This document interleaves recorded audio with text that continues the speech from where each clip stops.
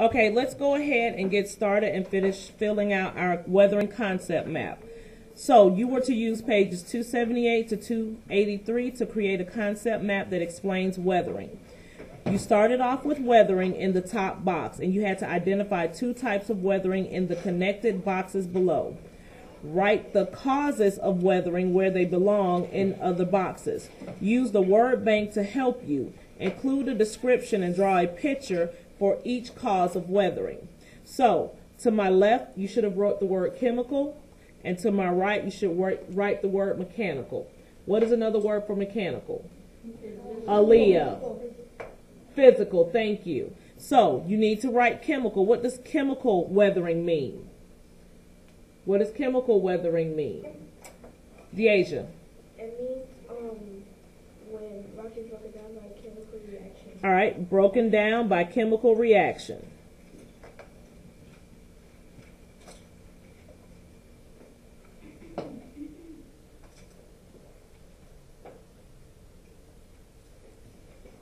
And so, what does mechanical mean? Rayshawn. Rocks are broken down from physical reactions. Very good. Broken down by physical means.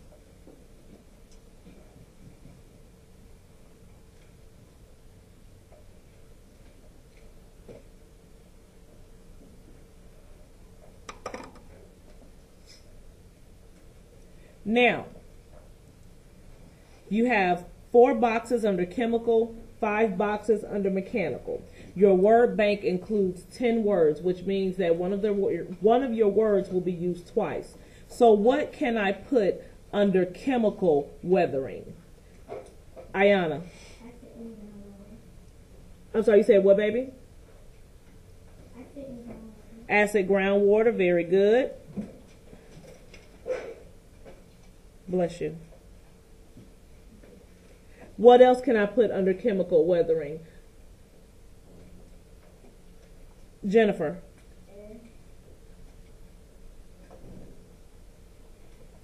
What else can I put under chemical weathering? Jalen um, Allen.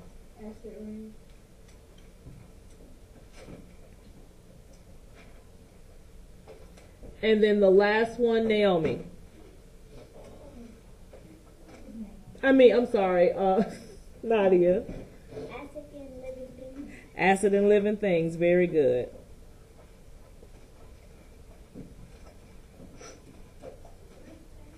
So one key thing that all of these have in common under chemical is that it says acid, okay?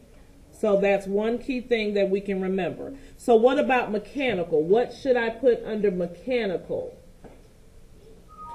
Let's see. Jonathan.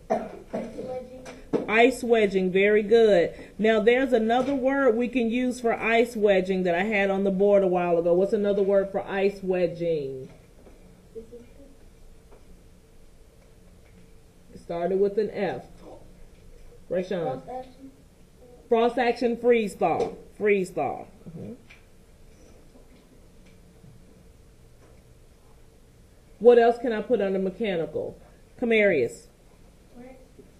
Plants. Okay.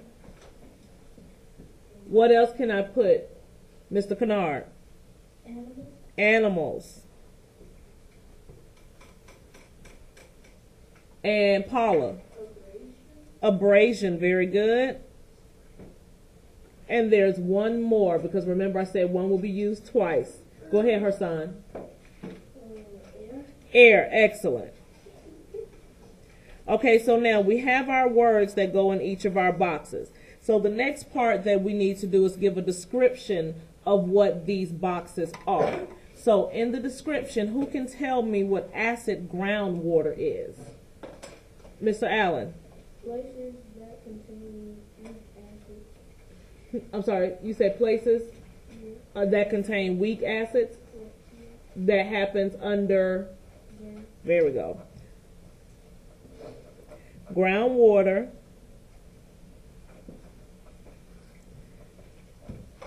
That has weak acids.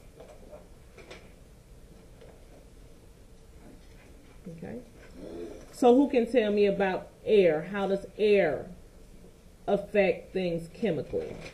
How does air affect it chemically? Use your notes and your books. Camarius.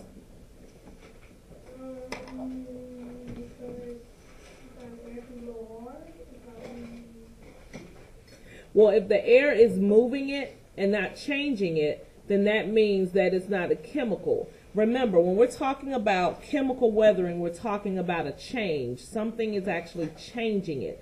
It's changing from one thing to something else. It cannot go back to its original form. Princess. The air is reacting to iron. The air reacts to iron. Very good. So what happens when air reacts to iron? It causes things to rust. It causes things to rust, and that process is called what? Oxidation. Very good.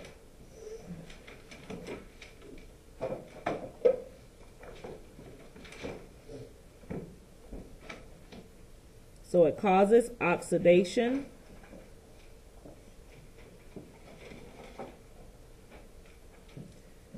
Which is a chemical reaction.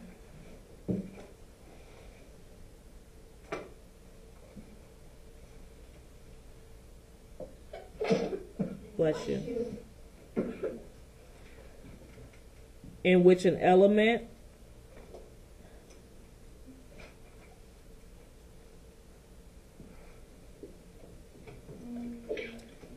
bless you, like iron,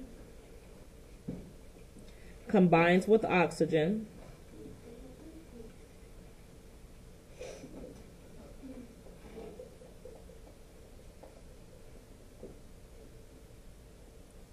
To form an oxide.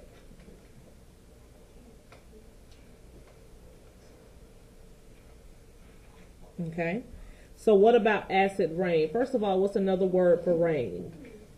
Another word for rain. Jennifer. Precipitation. So now we're talking about acid precipitation. So what uh, is acid precipitation as it relates to chemical weathering? Let's get some new people to answer.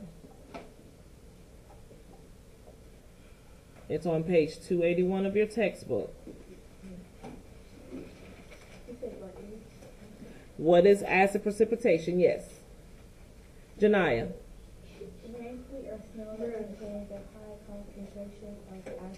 Very good. So it's rain, sleet, or snow that contains a high concentration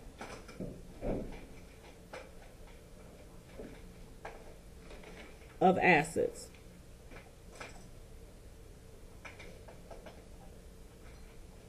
Okay. So what about acids in living things? What about acid in living things? Remember yesterday when we did our weathering walk, we saw uh, things on trees and rocks that actually break them down. So how does it apply in this case? It's on page 282.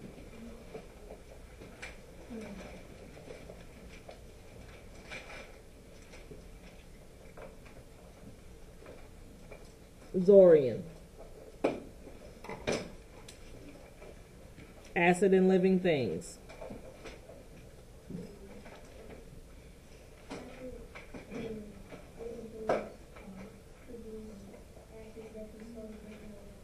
Okay. So things like plants,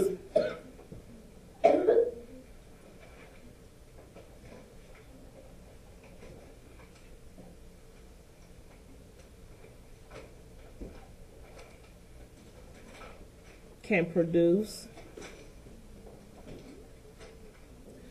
acid that can slowly break down a rock.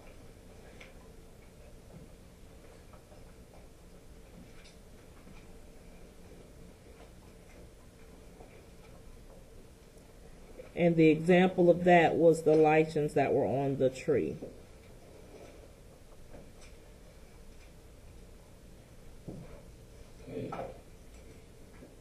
Okay, so then under mechanical, we have ice wedging and freeze thaw.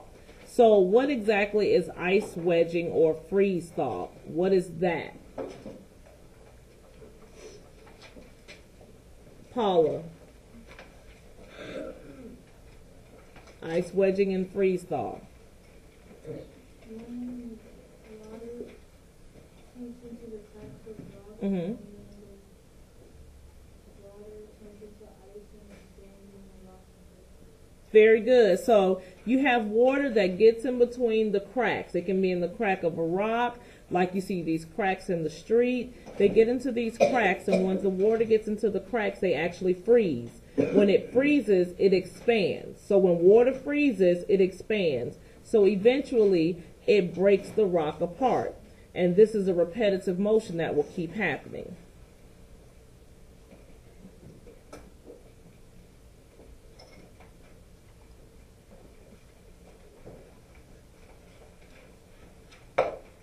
So water gets into cracks.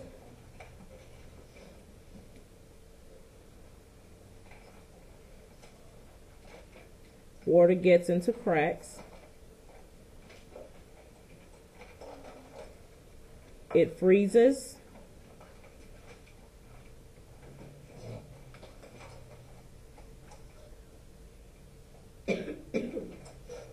And expands.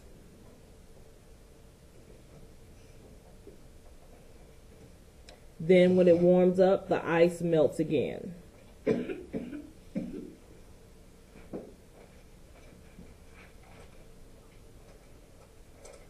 So the ice melts as the temperature increases.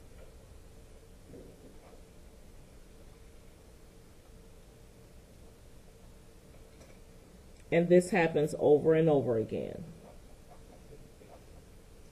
So, what about plants? What do plants have to do with mechanical weathering? What do the plants have to do about mechanical weathering? Keanu.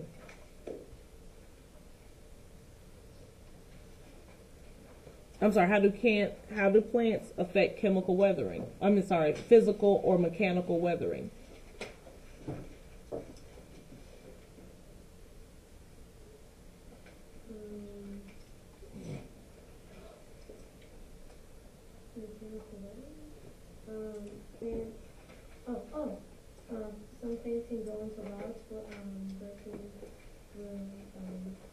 Okay, so the plants can grow, um, and as the plant roots grow, sometimes it's strong enough to break the rock.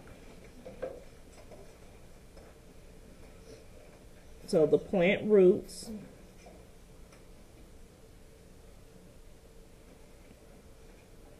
grow and forces the rock to break apart.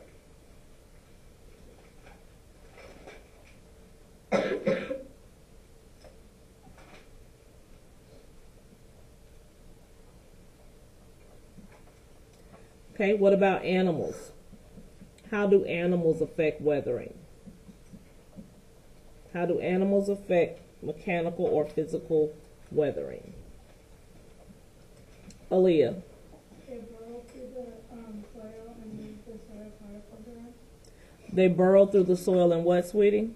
moves the soil particles around. Okay. So they burrow through the soil and move the soil particles around.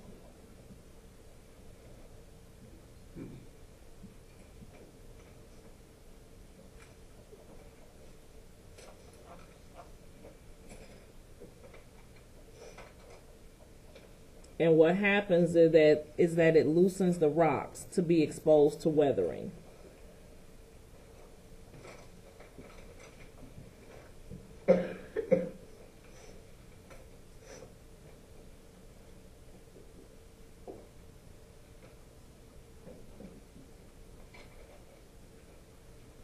Now, what about abrasion? Explain abrasion to me. What is abrasion? Nikia. Abrasion. What's abrasion?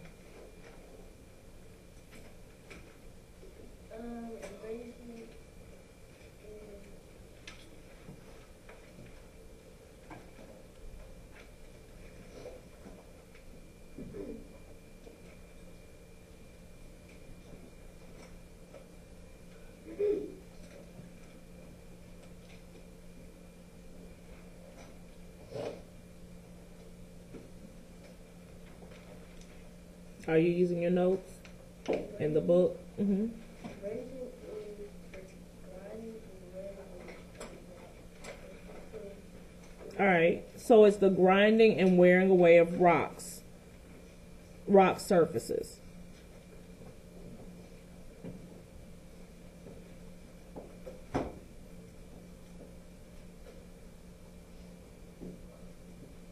So it's the grinding and wearing away of rock surfaces. So let me give you an example of that. Um, you've seen wind before pick up leaves and it looks like a little mini tornado and it's kind of like twisting around on the ground, right? Okay, so wind can pick up dirt particles and eventually if it keeps hitting up against something, it'll smooth it out. Okay? So when you grind your teeth together, when you take your teeth and you grind them together, okay? So that's what it essentially is, it's something rubbing up against it. Okay, rubbing up against it to smooth it out, to break the pieces down, to break off pieces. And then the last one is air. So again, like I said, with this one, the wind blows, uh, sand and silt against rock, and it wears away the rock surface.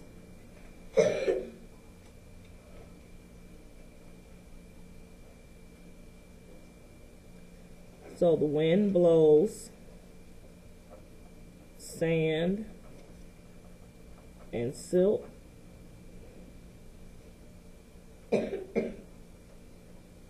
against exposed rock.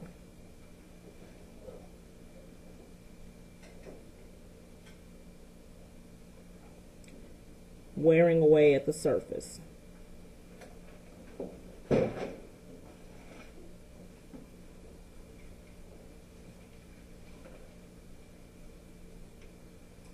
Okay.